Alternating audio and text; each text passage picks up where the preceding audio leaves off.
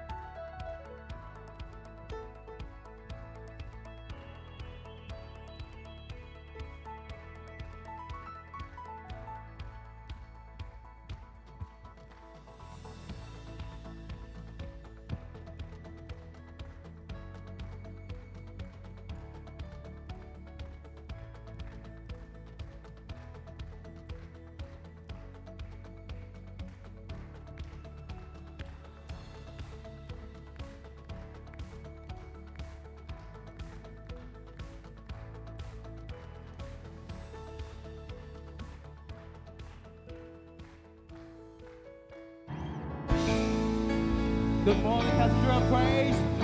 Welcome to the praise of the Lord. Hallelujah. Hallelujah. I want to welcome every one of you, those online as well. Just join me this morning as we lift up our voices to the King of Glory, the Lord God Almighty. There is no one like our God. There is no one like our King. How many of you say, Jesus, we worship you? Hallelujah. Whoa,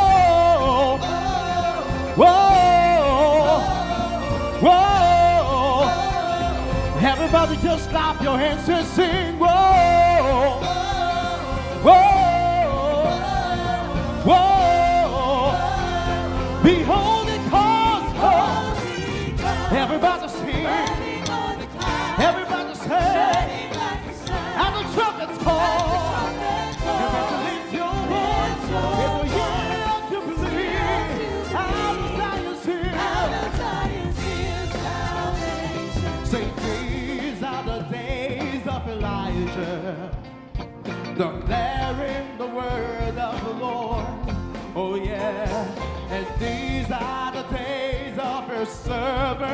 Moses, righteousness being restored.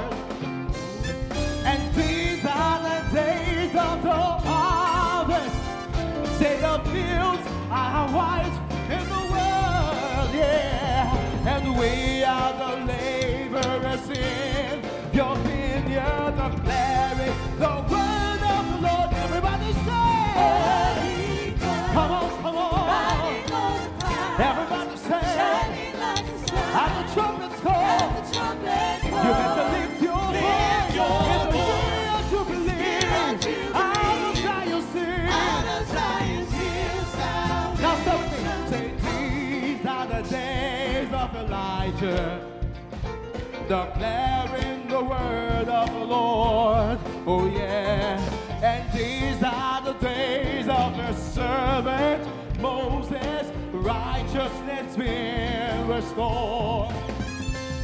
Fears of the harvest, of fears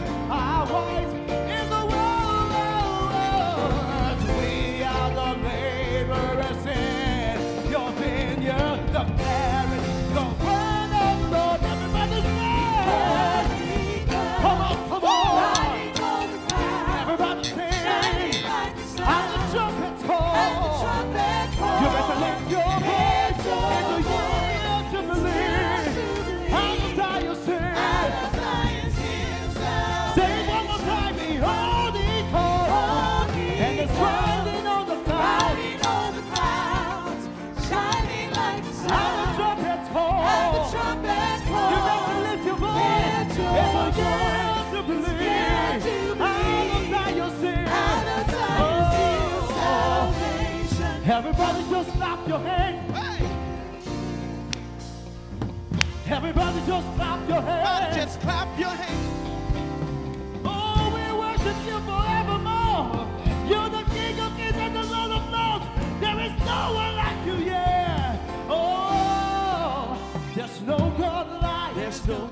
like Jehovah. Come on, say. There's no God like Jehovah. Come on, say. There's no God like Oh, Jehovah. oh, oh, There's no God like There's no Jehovah. God like. There's no God like Jehovah. Oh, There's no God like oh, Jehovah. oh, oh, There's no God like Jehovah. There's no God like Jehovah. There's no God like Jehovah. There's no God like Jehovah. There's no God like Jehovah. Jehovah. There's no God like Jehovah. There's no God like Jehovah. There's no God like Jehovah.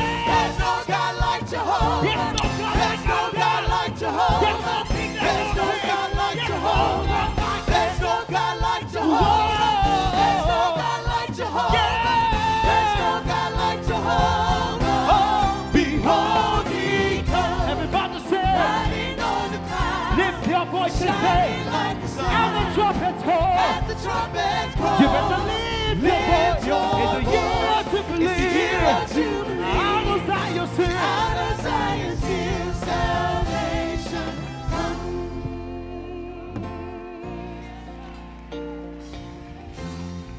How many of y'all know that there's nobody like the Lord? I said that there's nobody like the Lord.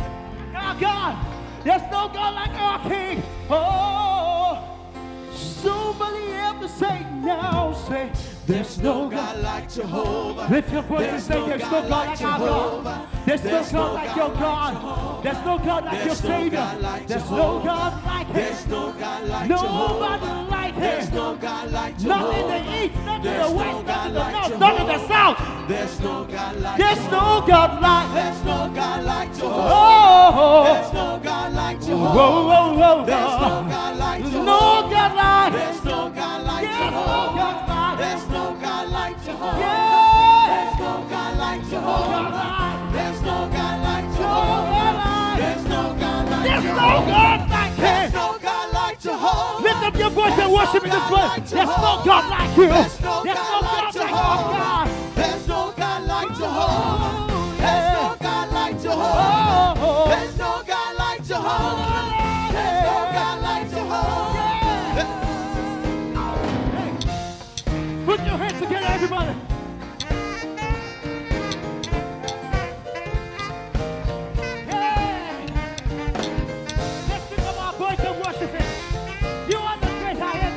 Glory.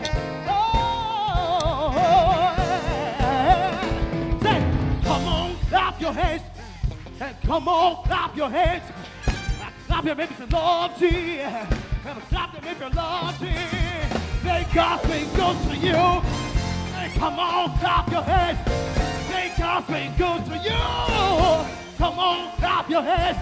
I've been made a way where there is none. Say, come on, clap your hands. I say, open the way for you, yeah. Say, come on, clap good. Yes, no God like. There's no God like Jehovah. There's no God like There's no God like Jehovah. No God like There's no. God like Oh yeah. There's no God like There's no God like There's no God like oh, Jehovah. God like Jehovah. There's no God like Jehovah. There's no God like Jehovah. There's no God like Jehovah. There's no God like Jehovah. There's no God like Jehovah. There's no God like Jehovah.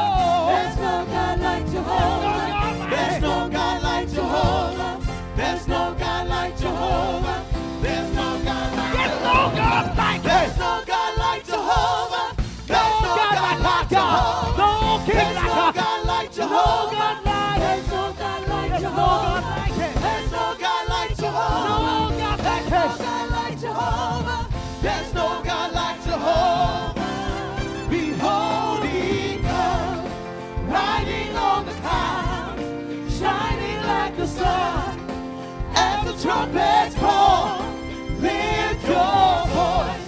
It's the year of Jubilee. Out of Zion's hill, salvation. Give him glory. Give him glory. Well,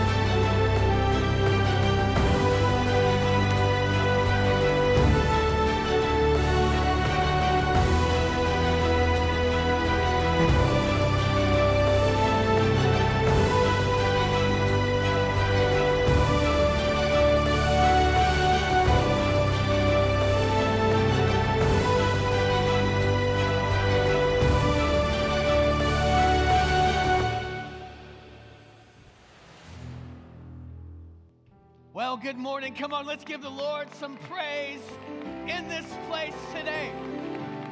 We serve a great, big, awesome, mighty God, and He is with us this morning. It's so good to have each and every one of you here today. It's also good to have everyone joining us online from Facebook Live to YouTube Live. Come on, let's give them all a big God bless you. Thousands of people joining us all over the world. Thank you for being with us today. You know, God has a word in season for us in this place. Do you believe that? Well, you know, we're in this series titled Journey Through the Bible. It's week number 34. We're studying our way from Genesis all the way through to the maps. We just wrapped up last week studying the major miracles of Jesus. Now we're going to step into the major parables of Jesus. Now, the word parable, uh, it comes from two Greek words, para. Para means to come alongside. We use the word in English. Think about a para pro, not a teacher, but one who comes alongside of a teacher. Paralegal, not an attorney, but one who comes alongside an attorney, right? So para, one who comes alongside or something that comes alongside. Now, um, the word bole, which is it, we, where we get the word bull, right? The word bole means a story or an illustration that is thrown. So if you're throwing an illustration or you're throwing a story at someone, um, then that's what bole means in the Greek. When you combine them, it literally means a story that is thrown alongside of doctrine or teaching or principle to further understand it. Simply put, a parable is a timely story with a timeless truth. A timely story with a timeless truth. So let's dive in today. We're going to take a look at the, the Gospel of Matthew, chapter number 25, and beginning with verse number 1. Matthew chapter 25, verse number 1. Then, everybody say, then.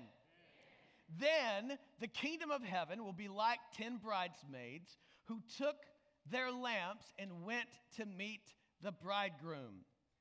Now, chapter 25 starts out with the word then. And how many of you know we interpret the Bible with the Bible, right? If you want, if you're taking notes, if you want to understand the context of the Bible, you need to understand the, if you want to understand the content, rather, of the Bible, you need to understand the content of the Bible, the context. If you want to understand the context, you'll never understand it until you understand the content. So we, that means then, when is then? We have to go back to chapter 24 to understand when is then. Chapter 24, verse number 1 Jesus was leaving the temple grounds with his disciples and pointed out to them the various temple buildings. But he responded, Do you see all these buildings? I tell you the truth, that they will be completely demolished. Not one stone will be left on top of another. All right, so th- th- you have to understand the first century temple was an expansive edifice, all right? Tons and tons of stones all over the complex. And what Jesus was saying at the time seemed completely illogical, completely implausible. There's no way, surely Jesus was speaking hyperbolically. There's no way that literally every one of those stones would be separated from the other stones. Well, in 70 AD, Rome invades Jerusalem, lights the city on fire. With it, the great heat consumed the mighty temple and the temple complex. All of the gold that was laced within the temple walls melted down into the cracks between the stones. So, after the fire subsided and cooled off, the emperor gave the order to the locals to separate every stone from the other stone in order to extract the gold. Jesus was not speaking hyperbolically. What Jesus said came true in its most literal sense. That's the setup for everything else Jesus says in chapter 24. In other words, when we read something and you may think to yourself, there's no way that's going to happen, remember what happened in 70 AD. God is, Jesus has already proved. Look, I, am I'm, I'm not speaking figuratively here, I'm not speaking hyperbolically. Literally, what I'm saying is going to come true. Now, let's continue uh, as we take a look at verse number three. Later, Jesus sat on the Mount of Olives. His disciples came to him, verse number three. They came to him privately and said, Tell us when all of this will happen. What sign will signal your return and the end of the world. What sign they asked for. Verse number four, Jesus told them, Don't let anyone mislead you. For many will come in my name, claiming that I am the Messiah, and they will deceive many. Now, I did a little bit of research this week, and I found that in the 18th century, there were two people who claimed to be the Messiah.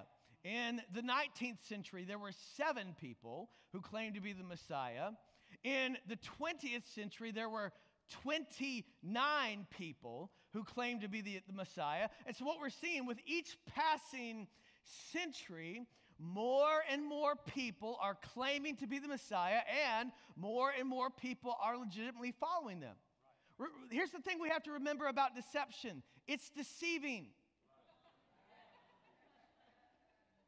People are following these people who are claiming to be the Messiah. Ultimately, the biggest one, the biggest deception, the biggest mockery will take place in the life of who the Bible calls the Antichrist. This is a, a geopolitical figure that will assume world domination and world influence. We're not going to talk about him today. We'll talk about him as we get toward the book of Revelation. But understand, this is happening right now. And thousands upon thousands of people are being misled. Here's what I want you to do. As we go through, I'm, I'm going to give you what Jesus said long ago. And, and I want you, in fact, if you're taking notes, you can even form your, formulate your own little checkbox. And I want you, if you think that we're today living in the time that Jesus described, mentally or physically. I want you to put a check by that aspect of it. You can even put a check in your Bible if you have your Bible open. Do I think that this is coming true today? It's up to you. I'm going to present the evidence. You draw your own conclusion. And so we're going to go through this together, all right? So, um, what we see is that with each passing century, more and more people are doing what Jesus said would happen. Take a look at verse number six. It says, And you will hear of wars and threats of wars. But don't panic. Somebody say, Don't panic. Don't panic, Jesus said, because these things must take place by the end, or eh, these, they must take place, but the end won't follow immediately. And so the key word in that passage is don't panic. Now, it's up to you. Uh, in your mind, do you place a check next to that as we've gone through a century? In fact, we have a, a war right now that is the longest running war in American history, the Afghan War. And so, in your mind, are there wars and rumors of wars now more than ever? You just make up your mind and, and see what you think. Take a look at verse number seven. It says, Nation will go to war against nation and kingdom against kingdom. There will be famines and earthquakes in many parts of the world. Now, I want to key in on something that you may not think is an escalating reality in America, and that is famines. You know, uh, I, I, when we live, as we sit here in America, we're going to leave this place, and uh, the chances are when you leave, you're going to have something to eat. Uh, and, and so when we hear that in the last days there will be these great famines, we may not perceive that it is uh, an, an ever present reality or an escalating reality for the world. But here's what you should know this year, 2020, According to multiple sources, over 9 million people will die from hunger or hunger related issues. To put that into perspective, that's 2.4 million more people than live in the entire state of Tennessee. Now, COVID has crushed us all, it, it, it has affected every aspect of the world. Globally, 1.2 million people have died, and each death is a tragic death. But my question is if you're going to discount what Jesus said there and say it's not applying to us, what you're saying is that the deaths of the 9 million are somehow less important than the deaths of the 1.2 million. Every death is, is tragic. But what I want you to see is this is absolutely an escalating uh, reality for the world. There are famines all over the world. We're so blessed to live in the United States. I'm not sure if you've the privilege of traveling outside of our gracious and, and beautiful borders, but if you ever do, you'll see very quickly how blessed we are to live in the United States of America. If you're glad that God has put you here, come on, we ought to give him some praise right now. He's been gracious to us. But don't think for a moment that just because a famine is not an escalating reality to you, that it's not an escalating reality in the world. So, would you place a check mark next to famine you choose? Take a look at verse number eight. Verse number eight says, But all this is only the first of the birth pains, with more to come. Then you will be arrested and persecuted and killed. You will be hated all over the world because you are my followers.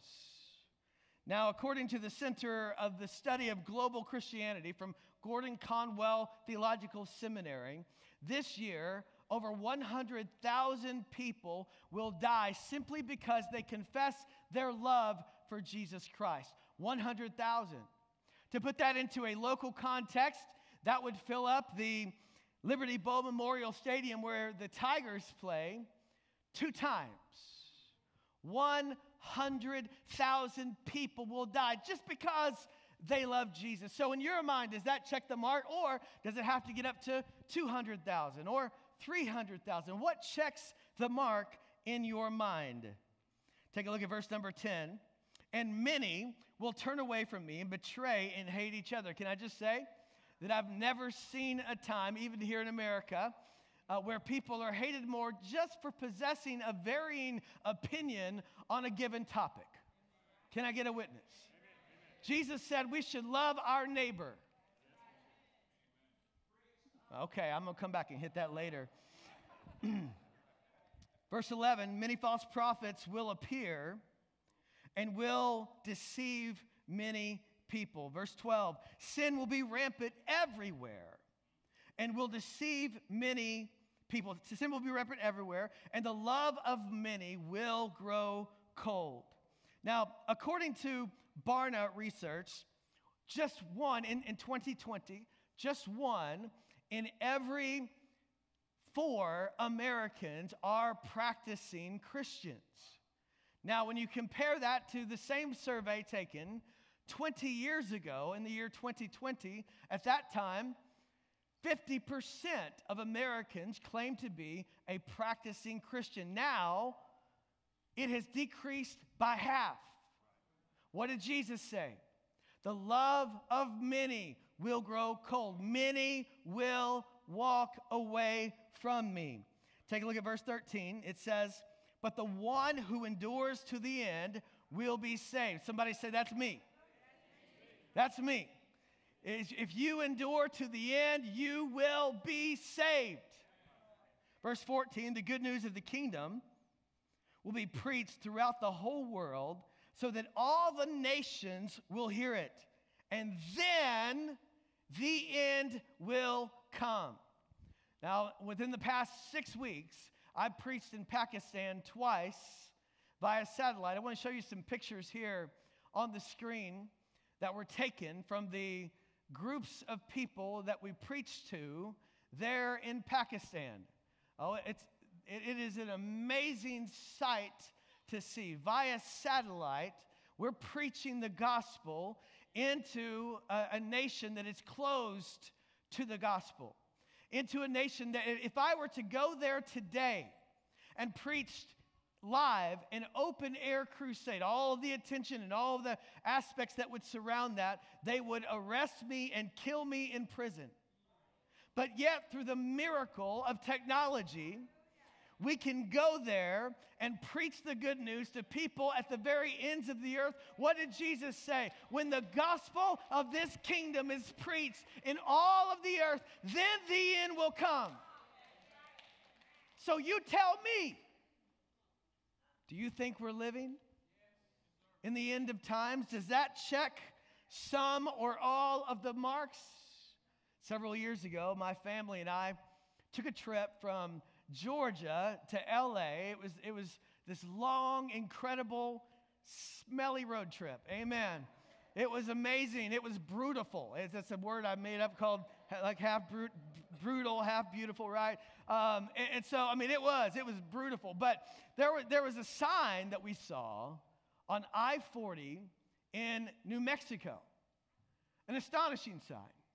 The sign said Los Angeles, 1,043 miles. Well, we're in the middle of nowhere, several states away. My goodness, why would I even need to know? That was the most discouraging thing I had seen all that trip. Do we really have another thousand miles to go? Like, nobody needed to see that. Just leave me alone. Ignorance is bliss. But as we made the turn and hopped on to I 5 and headed north along that route, we begin to see more signs for LA and more signs. And before too long, it wasn't just signs about distance, it was signs about activities, things to do, places to eat, places to go. My point is the closer we got to Los Angeles, the more signs we saw. The closer we get to the end, the more signs we will see. Now, that describes the wind. Let's go back to Matthew's Gospel, chapter 25, verse number 1. Then, when is then? Then is now. we've answered the question of when is then. Then is right now. This is a parable that is not for someone in the first century Jewish world. This is a parable for everyone who is alive in the year 2020. Then is now. Context is key. You'll never understand the content until you understand the context. Then the kingdom of heaven will be like ten bridesmaids who took their lamps and went to meet the bridegroom. Verse number two five of them were foolish, and five were wise. The five who were foolish didn't take enough olive oil for their lamps. I cannot read verse number three without hearing the voice of Mr. T in my head. Come on, y'all, to help me this morning. I pity the fool, they ain't got enough oil in their lamp. I mean, I just, it's just like an 80s thing. Are you with me, huh? I ain't getting on no plane, Hannibal, right? I mean, it's just, I can't get it out of my head. I pity the fool, ain't got enough oil in his lamp. The foolish ones did not take enough olive oil for their lamps. The lamps that Jesus was describing was a handheld little jar of clay. The jar of clay was then filled with olive oil with a wick, and that's what was used as a lamp. It was a handheld jar of clay that you would light. How many know the Bible says that we have this treasure, speaking of the presence of the Holy Spirit, in earthen vessels of clay? This whole thing is about to come alive to you in such a real way. Verse number four says the other five were wise enough to take along extra oil. When the bridegroom was delayed, they all became drowsy and fell asleep. Now, let me break it down like Bobby Brown. So, this story is just, again, it's just filled with all these different aspects. We see that Jesus is the groom. Everybody with me? Tracking with me? Jesus is the groom. If you're a believer, then you are a bridesmaid. The church collectively is the bride. So, individually, as believers, we're bridesmaids, but when we come together, we are the bride. This parable is set apart from every other parable that Jesus spoke because it wasn't about someone in the first century, it's about someone in this century, in the 21st century. It's about you. You find yourself being described by the very lips of Jesus. You are that jar of clay. And our, the question today is Are you wise or are you foolish? The oil represents the Holy Spirit of God. The groom is coming. To, to, who is Jesus, to rapture the church or to take the bride away. Now, when the groom was delayed, in other words, it took longer than the bridesmaids thought it would take. How many of you know it's taken longer than us as believers thought it would take. I mean, I used to remember praying, oh, Jesus, please don't come until I get married. Come on, y'all don't leave me hanging today. Come on. Real talk. And um, uh, we, we all have been there. We've heard messages. And it has taken longer, if we're honest, it has taken longer than we thought it would take. So, what happens to the church when it takes longer than we think it should take, the church falls asleep. The bridesmaids, those who are waiting for the groom, fall asleep.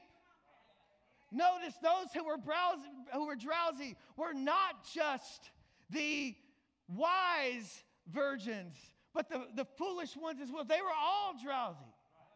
Oh, I believe all the church can become drowsy if we're not careful. We can all think that surely the Lord's going to come to another generation. Surely He's not coming soon. And we would make the mistake that those who were foolish in this story made. Take a look at verse number six. It says, At midnight, they were roused by the shout Look, the bridegroom is coming. Come out to meet him. Now, there's some things that you need to know about the Jewish wedding 2,000 years ago. Um, first of all, a groom would go, would leave his father's house, and he would go to the house of the bride to negotiate what was called a bride price. The groom would pay for the privilege of marrying the daughter. As a father of one daughter, I think that's a great idea. As a father of two sons, I'm glad we don't do it anymore. Amen.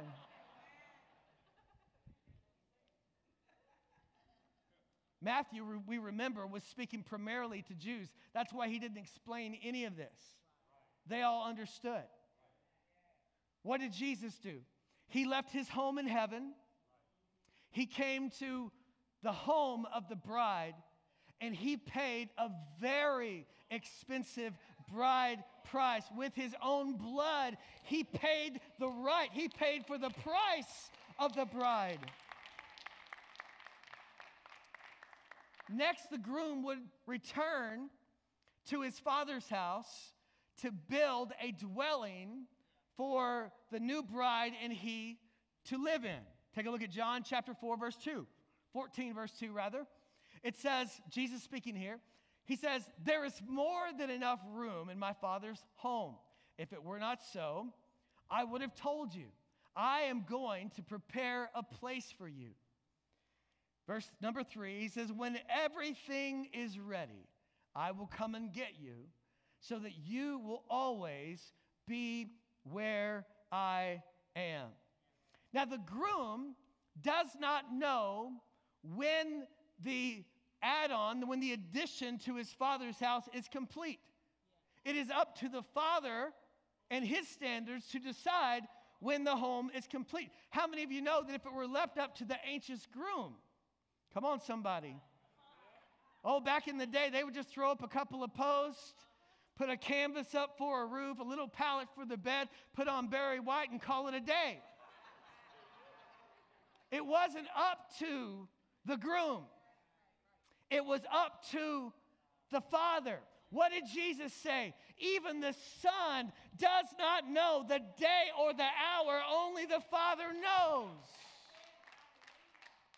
I hope you see this coming alive before your very eyes.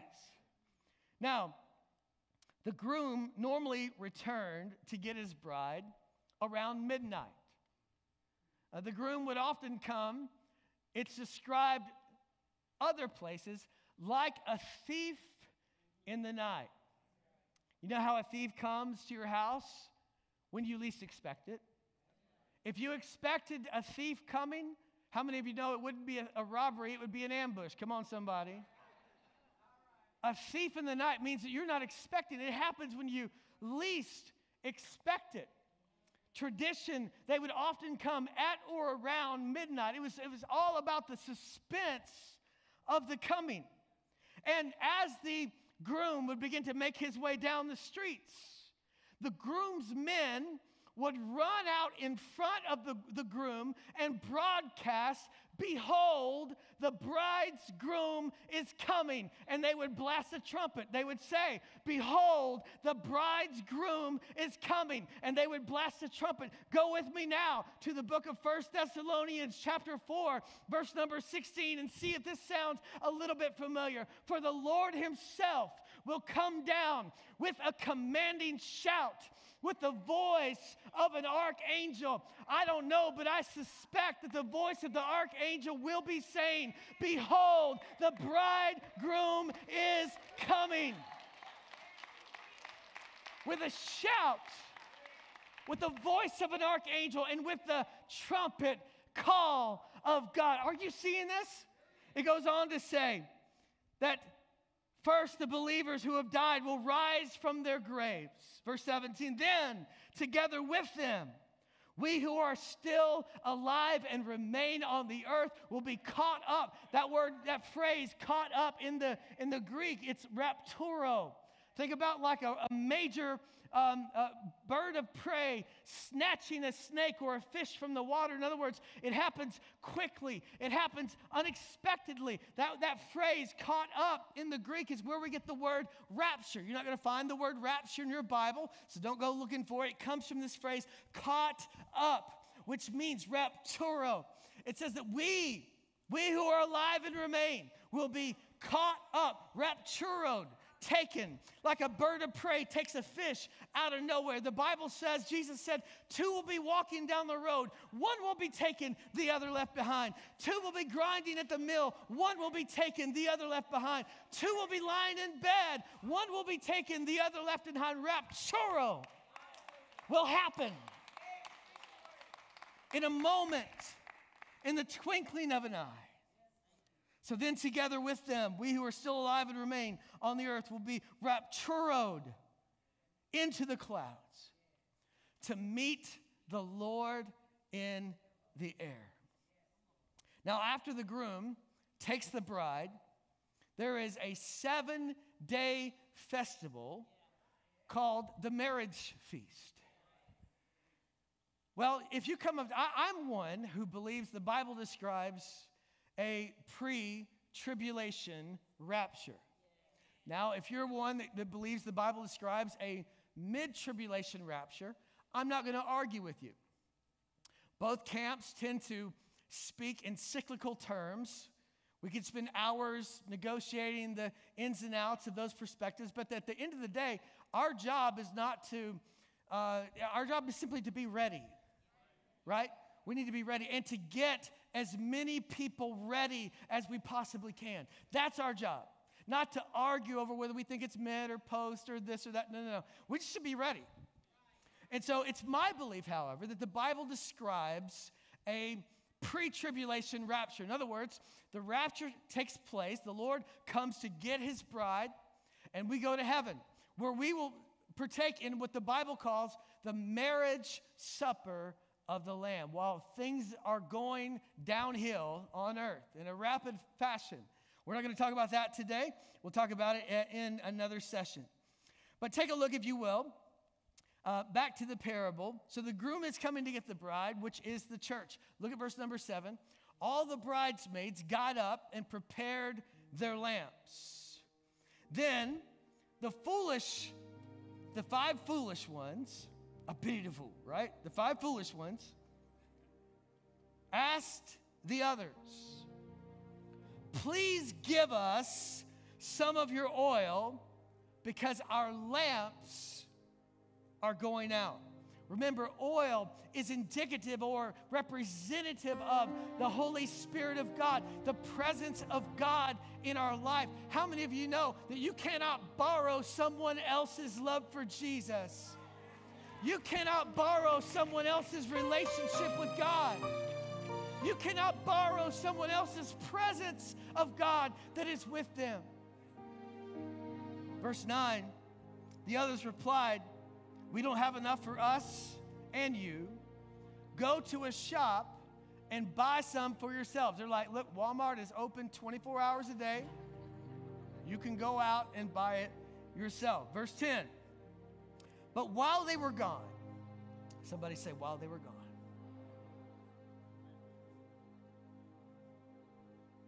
the bridegroom came. Then those who were ready went in with him to the marriage feast, and the door was locked after the church is raptured, there will not be a second trip.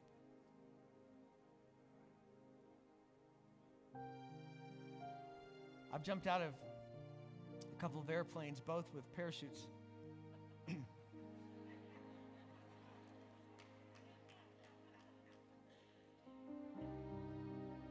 but there has been at least one occasion when a videographer leaped out of a plane and his buddy system failed. The buddy system that said, do the dummy check that says everything looks good on you. He was hiding toward the back of the plane, and none of his friends noticed that he actually did not have his parachute on. He jumped out, videoing what would ultimately be his own death.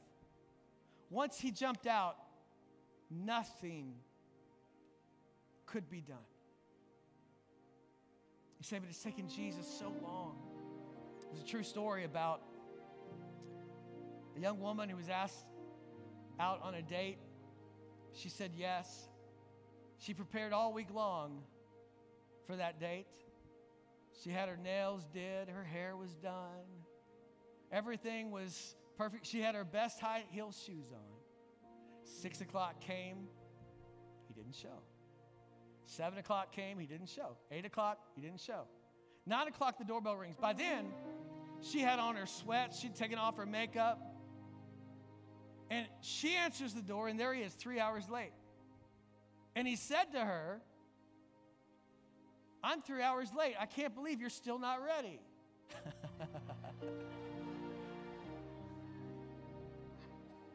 True story. The only difference is, as we wait for Jesus, we're not waiting for a date, we're waiting for a deliverer.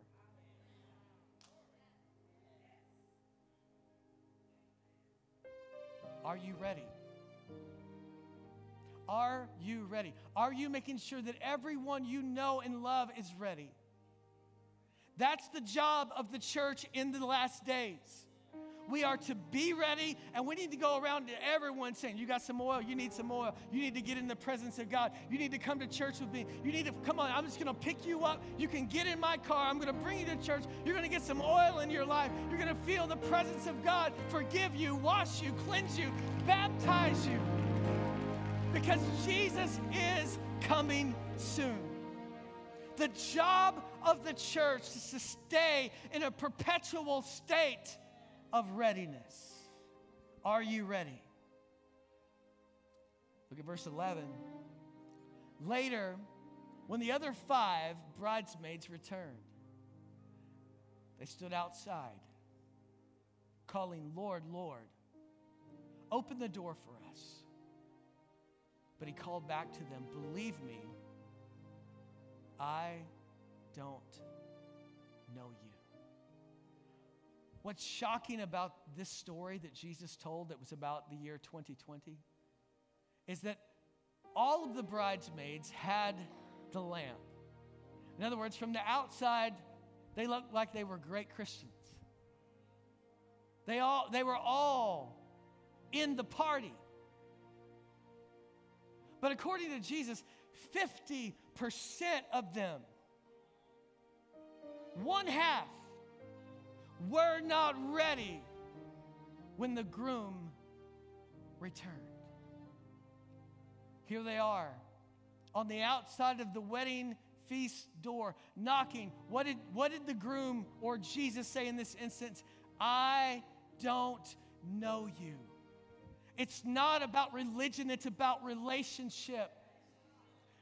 You can't borrow someone else's relationship with Jesus. You need to fall in love with Jesus today.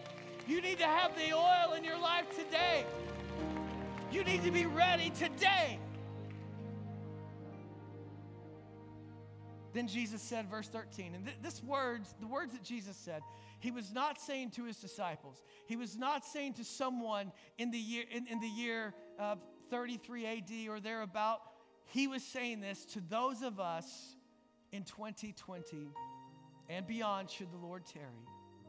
So you too must keep watch, for you do not know the day or the hour of my return.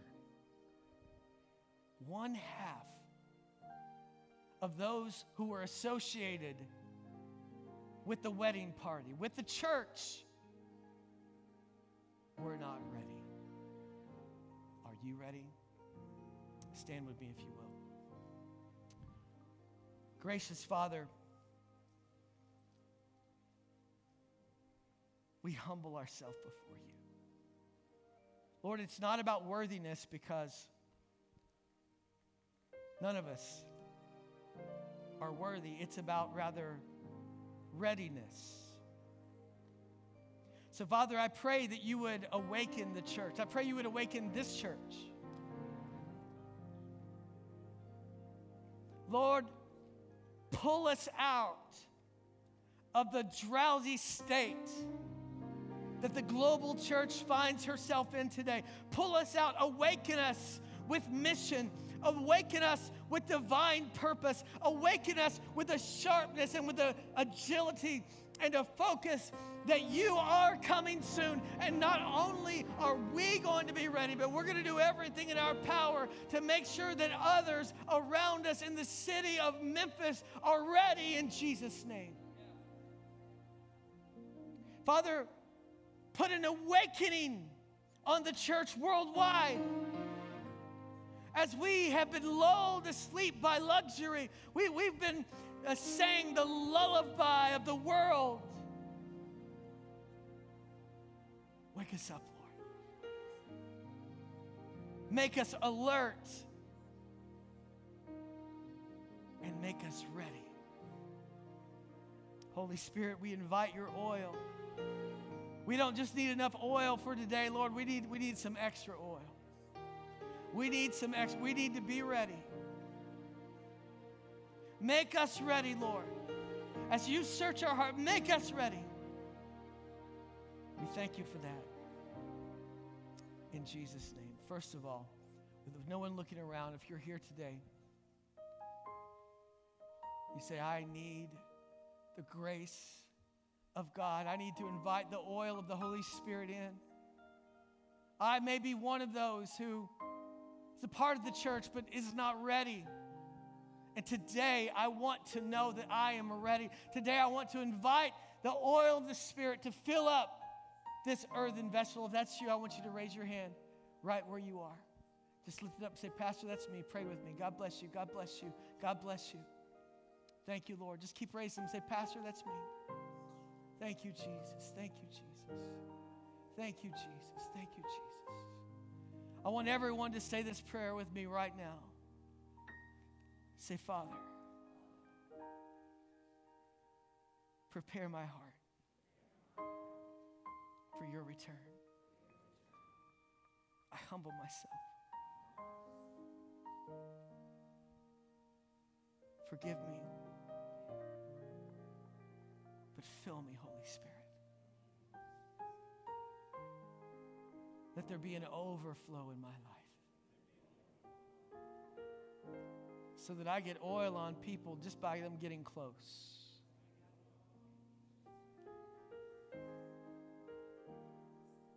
Flow through this house, through my home, so that we will be ready. In Jesus' name, amen. With no one moving, I want to put a second call out, and this is for all of us who claim to be the church. If you claim to be the church, then rescued people rescue people, saved people save people, reached people reach people. If we truly believe what the Bible says, that Jesus is coming and he'll remove the church for a great time of tribulation, if we really believe that, then we're going to be motivated every single day to tell everyone we know about how much Jesus loves them, to stand against the tide of a society that says, you sit down and shut up because you belong to Jesus. Let a holy boldness rise within his house, rise within his people. If you're willing to join the army today to say, I want to be one who is rescued that rescues. I want to be someone who is saved that saves. If that's you, I want you to shoot your arm up in this place. All over this house, the balcony. Come on, give glory to God. Lord, we thank you for a church that understands saved people save people, rescued people rescue people, redeemed people help others get redeemed.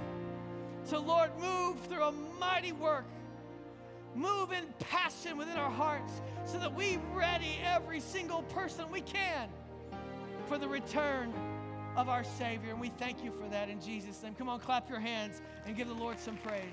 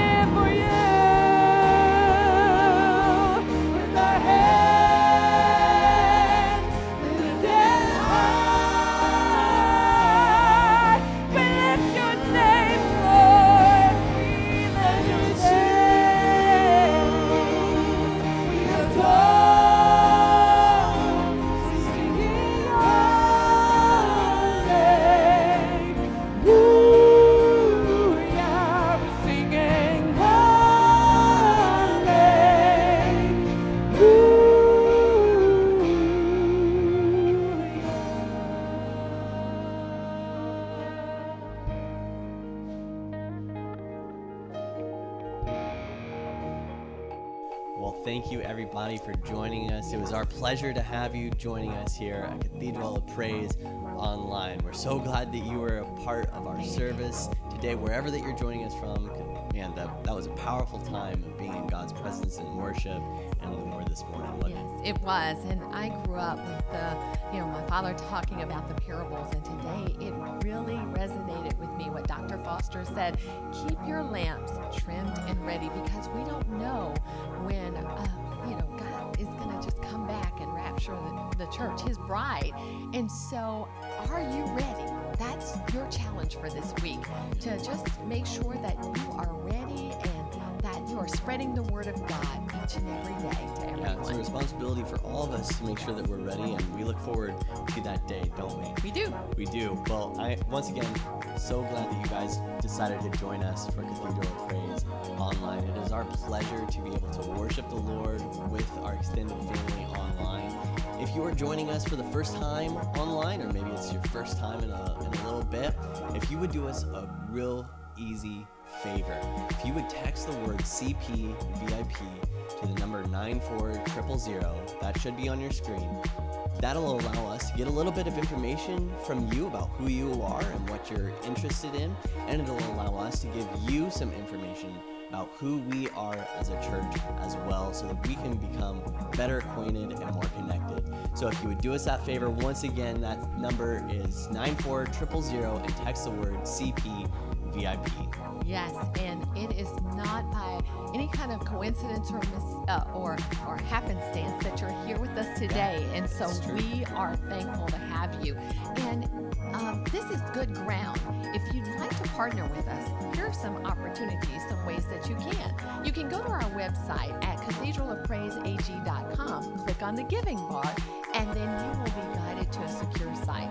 Then, secondly, you can text the word cathedral to the number 888 364 4483 on your screen, and then you will be guided to give as well. And then, thirdly, you can mail in a check made out to Cathedral to 8200 Macon Road, Cordova, Tennessee. 38018. This is good ground. We're not just here in Cordova, but all over the world. Yes, we are so grateful for the faithful giving of all of our members online and in person. The work of God is going forth because of your generosity. And so we want to say thank you. And to give you a little bit of insight into some of the stuff that we're partnering with mm-hmm. here at Cathedral of Praise, check out this missions video from BGMC. We are thrilled to support the missions work of BGMC all around the world. And then stay tuned because we have a special welcome video from a new kids pastor. So check out these videos. We look forward to seeing you next week. Join us on Wednesday Night Live. Take care. We love God you guys. bless you.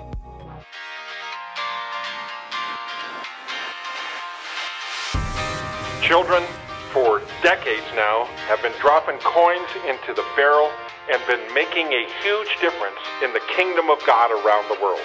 BGMC, Buddy, has been teaching the youngest in our fellowship to live for something beyond themselves. This year alone, BGMC has taken the gospel to more than 30,000 children around the world. I've learned that when you sacrifice and you give, God blesses you.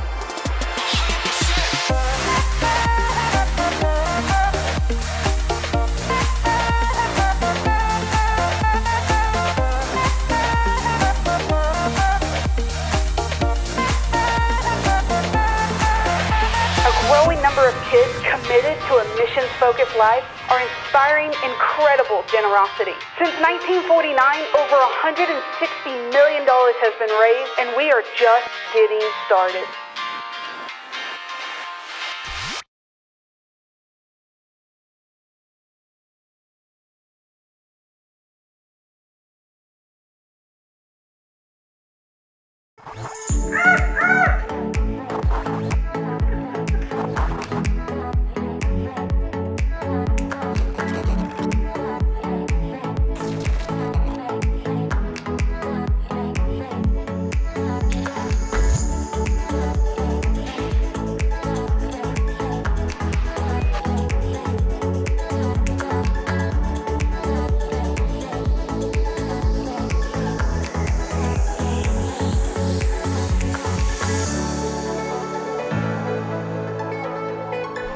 Good morning, Cathedral Praise. My name is Pastor Sam, and what you just saw was some of the super cool and exciting things we are going to be doing in Sea Kids. So, mom and dad, boys and girls, get ready because on November the 29th, we're going to be having our very first kids service. We're super excited and can't wait to meet and see all of you.